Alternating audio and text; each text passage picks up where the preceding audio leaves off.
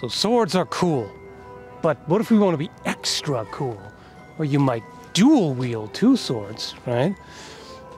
Not edgy enough? Want to be more unique? Well, how about one in conventional grip and the other in reverse grip, huh?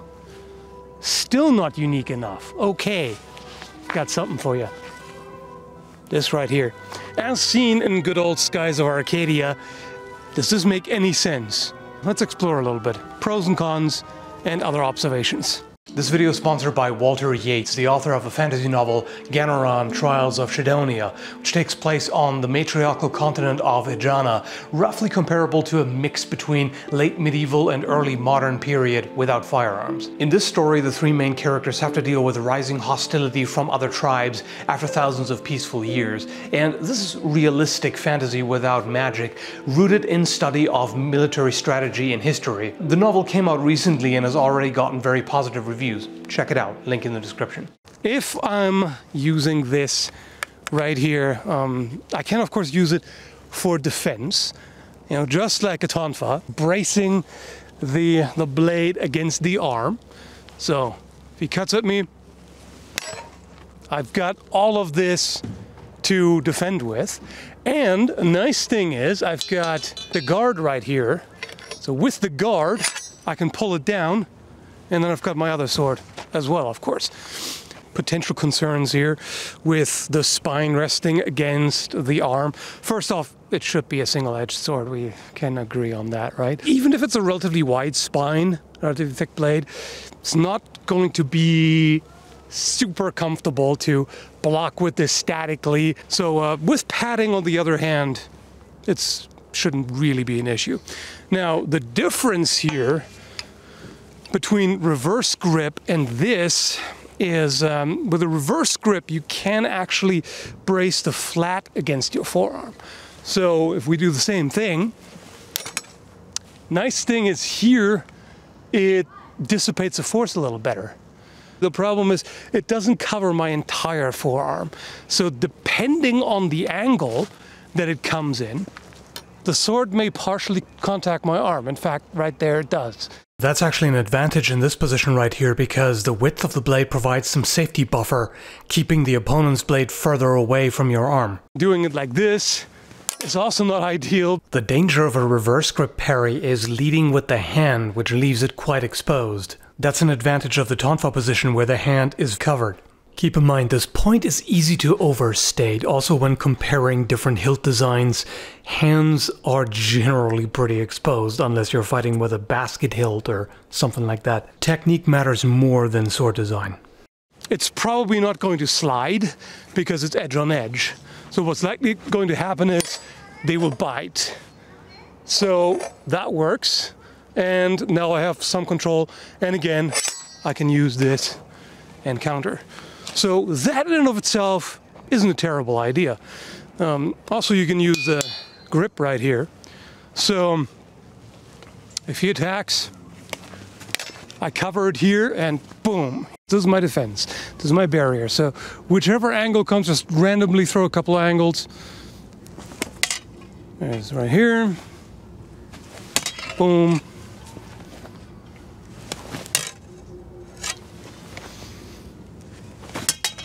So this works quite well defensively. Uh, you can, of course, also choose to use the other weapon for the right side, or, you know, if you're lefty, reverse. So if he attacks on this side, I might just use this and then slice. And the problem is slicing is kind of the only thing I can do here because th this is not a good cut because I, I cannot engage my wrist here. It doesn't flex more than this, which is uh, really not ideal. Normally, when you cut, you cut with, with a bit of wrist snap. So you can't really do that here, so it's pretty much just slicing against thrusts. So if you thrust straight forward, I can catch it like this, and I've got it on the guard here, which is useful because now I can push it in and uh, thrust or do whatever really. So this is pretty useful right there. If I catch a cut, so if you cut straight down, boom, I catch it right here, got control there. And of course, having two swords, I can press the offense a little bit better. So if I if I cut here defense, now I've got this to work with. I can move in here and slice the arm, for example. Say, slice, thrust. Now he's not going to just stand there, of course. So I would have to basically do this in one go, ideally, because this is one action, right? One action. So as soon as I move, he moves. So I'm going to have to figure something out here. And that's where this is a, a drawback compared to a sword in a forward oriented conventional grip. Because this way I'm going to have to do one and then two and then whatever, right? He, in the meantime, he can act. If I'm holding it in a conventional grip, I can do this. I can attack with this in the same tempo because I've got that reach. I've got zero reach here. So in other words, you could hold it like this, which means now I've got that. Now, of course, this is a powerful thrust here like that. So would this be better than the other version? Not necessarily. Here's one big drawback. If he binds it, I can't do anything to hold against it. Uh, depends a little bit on the grip shape. I've made this wider so that it it locks in the right position a little bit better, but even so, even if I turn the edge in, it's just, it's working against me and it wants to turn in my hand. So this is not the greatest grip. This would be mitigated if it was strapped to my arm, but if it was, then I can't change it. Then it's just this position, that's it. So at that point, you would be better off using a pata sword gauntlet. If you wanted to switch between the two, also by the way, if you wanted to do actual tonfa techniques, it's not really gonna work with a with a sword because you'd be smacking them with the flat, which hurts, but it's not as effective. For an actual cut, you would need to do it like this. What I could do is open here and then attack the leg, for example. Things like that. But uh, let's let's go back to this position here. So this is much better for defense, of course. Offense, uh, what am I going to do here? this is not going to be my main weapon. So I could keep this in front of me uh, to defend, so I can try to move in safely. And the nice thing is, I've got plenty of cover here. I can cover with the grip, I've got the guard, and then I've got the blade. So that's actually not terrible. One thing I don't like about this is the potential to stab myself because this is, uh, you know, pointing the blade at yourself. It's not the smartest thing you can do. Now you could, of course, eliminate that problem by simply chopping off the tip and then you can't use it for offense either, but at least you don't risk stabbing yourself, or you just got to train more and be aware of that. But I, I never liked the idea of being in a situation where, you know, like you, I don't know, you deflect, like this, this alone, okay? I hit, strike his sword aside, and I'm already pointing at myself, okay? Even if I do this in the best possible uh, scenario, so I've got control here, I'm immediately pointing the sucker at myself. I don't like that at all. Also an argument to be made in favor of curving it forward. I wouldn't stab myself necessarily, maybe in the leg, but less of a risk.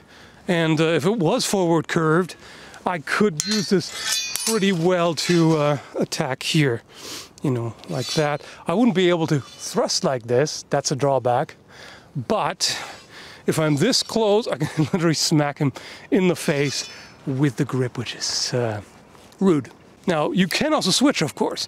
And that's one thing I like about this arrangement here. It's just an option. It does not render the sword useless as a sword. It's, it's just got this, this grip as a quillon. It's actually really not a problem. You can do anything that a sword does, essentially. That's a more conventional form of dual wielding right there.